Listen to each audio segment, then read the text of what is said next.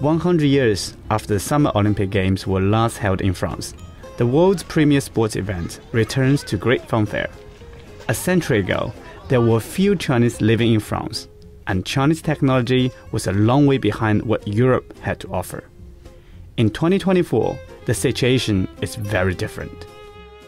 Over the last three weeks, I've been on a journey to discover the Chinese people and Chinese technology that is helping to underpin the Paris Olympics. In this episode, at the Games begin, I have the opportunity to witness firsthand how China is supporting the world's largest sporting event.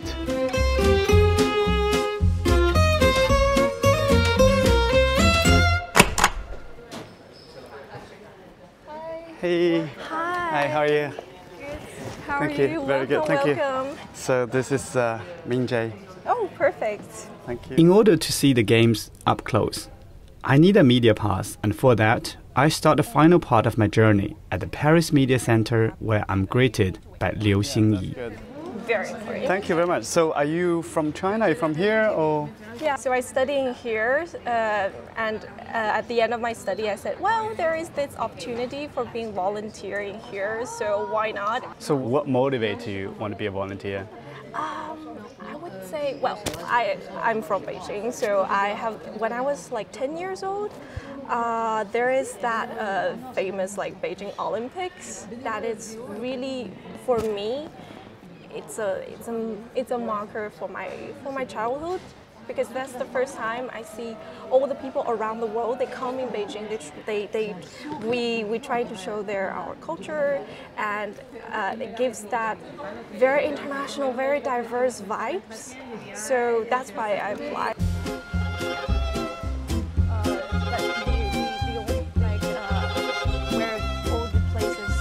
Xin Yi gives me a quick tour of the media center, but I'm eager to get out into the streets. With the opening ceremony quickly approaching, it's time to head to the river. On the way, I receive a message from Jia Xin, a Chinese volunteer I met at the very start of my journey. She tells me she's on duty at the Louvre, so I quickly change course to meet her. She gives me the address of a nearby building, where I found her sitting with a group of volunteers. Hey, how are you? Hi, great. Thank you. And? Very good, thanks. We follow Jiaxin out with her volunteer group to her position outside the Louvre. I ask her how things have gone so far and what she expects. Oh, I have made a lot of preparations. Uh, I have five, three different trainings from right now, and I'm also mentally prepared for to, to face a different tourist here. With time ticking down to the big opening event, I leave Jiaxin and take my seat along the Seine to witness a spectacular show in the rain. Paris has set up 24 large screens around the city for people to gather as a community to watch the games, prompting the entire city to spill into parks, restaurants, and bars to watch the show. While the Olympics is essentially about sport, like the world fairs that preceded it, the event also showcases the world's cutting edge technologies.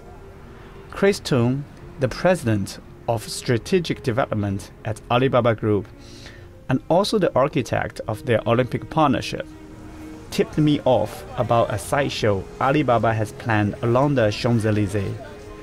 The morning of the grand opening ceremony, I messaged Chris, whom I had met in Hangzhou earlier on my journey, and we agreed to meet along the iconic shopping street. Hello. Chris, good to see you See you again. Yes. Yeah. yeah. Welcome to Alibaba Wonder Avenue. That's great. So please tell me a bit more about what this, this Wonder Avenue is about. yeah. We are sitting at the southern uh, end of um, Champs Elysees. Yeah. Which is, as we know, the most popular shopping district of the world, probably. And uh, we purposely want to place our pavilion here because this pavilion is carrying the future of online shopping. Yeah. Show me something about what, what's the coolest thing here. Yes, you know, um, in a future world, we believe human will still be the center of the world. Yes. And AI will be there uh, to serve you. Welcome to Alibaba Wonder Avenue, a multi-dimensional online shopping experience straight from 2034. I'm your Alibaba Smart Assistant. Chris guides me through a series of interactive capsules showcase personalized products. Minjie here, we're in capsule two. We Yeah. call it makeup. Yeah. Uh, we believe in a few years, probably 10 years from now, consumers are not buying from the shops. The tour finishes with a catwalk and a selfie with a personalized avatar that works along with Chris. Okay. I can't stop wondering what the first Chinese migrants who came to Paris to sell stone carvings at the 1889 World Fair would make of this pavilion. Back then, it was the Chinese that marveled at Western technology. Now, it is the rest of the world that stands dazzled. I asked Chris what he hopes to achieve with this pavilion. In a nutshell, we want to present the beauty and power of technology at its best. I take the opportunity to ask Chris how the Ali Cloud broadcasting system was working and whether the new multi-camera replay is being well received. Uh, the, the fact that uh, cloud-based broadcast uh, is the main uh, vehicle for the global broadcast of all, uh, uh, Paris 2024 is a remarkable um, achievement. I think uh, both for broadcast industry, but also for cloud uh, computing industry.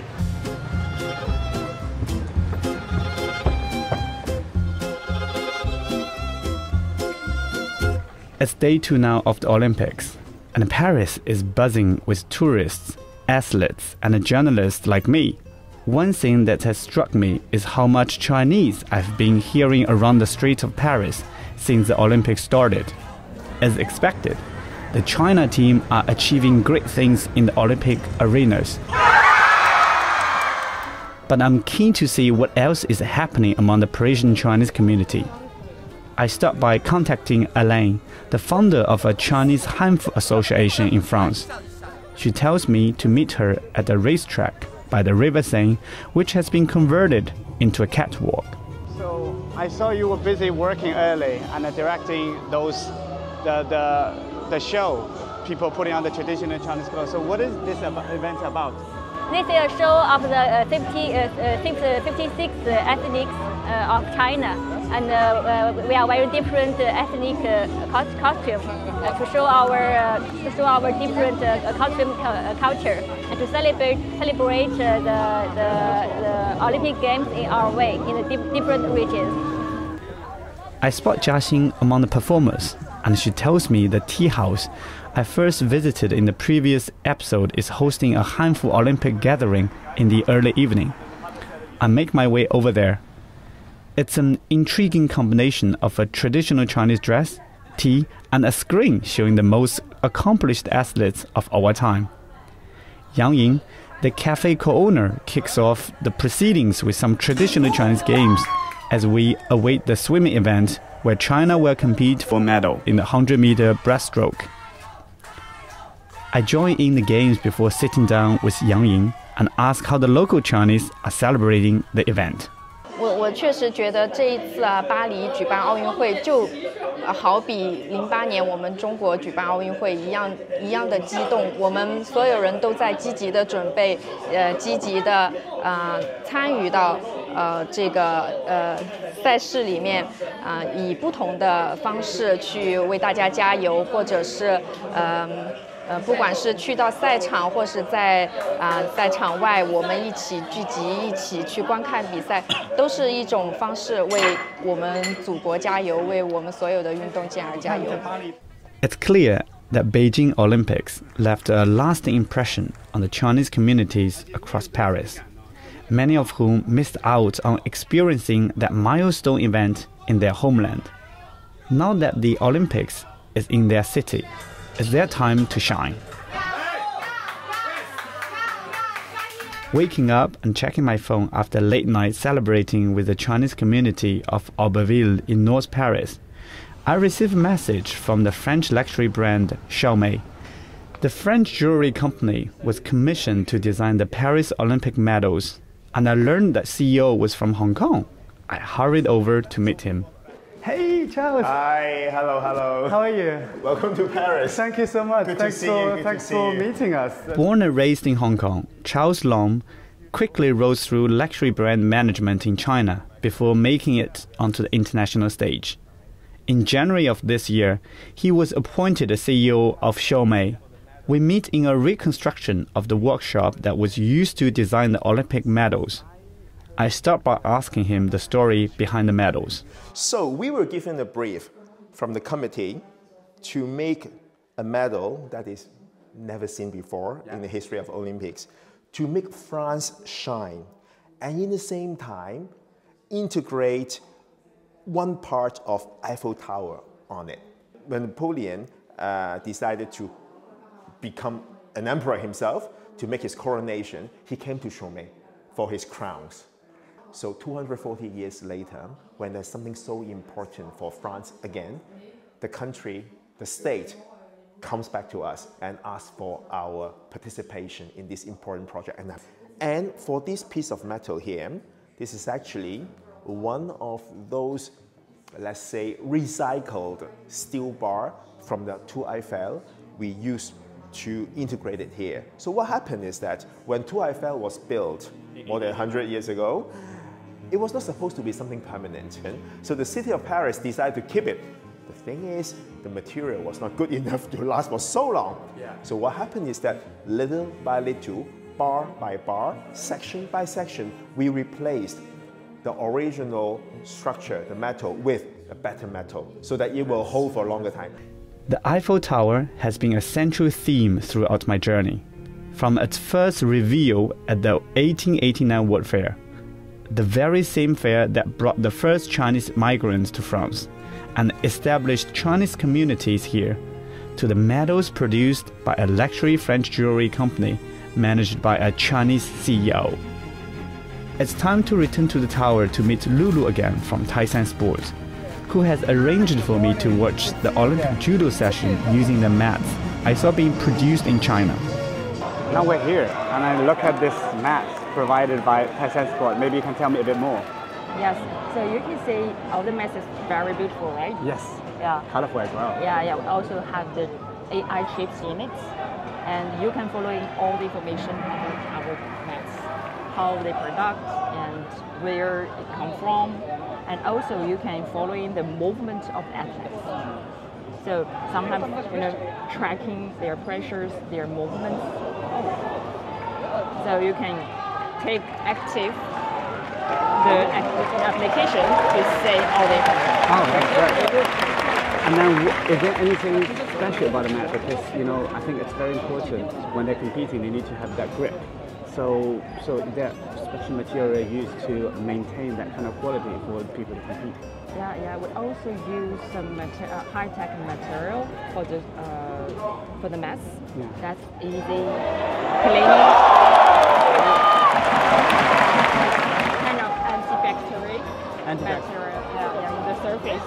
Antibacterial material on the surface, right? Yeah, so that's very easy clean and also uh, quick dry. At the end of the session, Lulu tells me the company's founder, Bian Zhiliang, whom I met in Shandong two weeks earlier, is flying in that evening and would like to have dinner with us. It seems a fitting end to my journey, as the 66 year old Mr. Bian has lived the story we have discovered. From hand sewing judo mats on a raised bed at home to providing the most advanced sporting equipment for the Olympics. It's time to celebrate.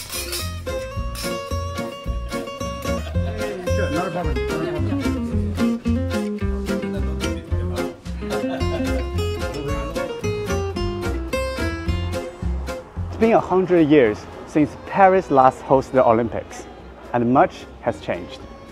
The Chinese, who initially came to sell stone carvings, has since established a vibrant community right across the city. The latest technology that Chinese pioneers once came to learn from the French is now proudly showcased by China across stadiums and event venues. The Paris Olympics has proven to be a great success, in part thanks to the work of the Chinese.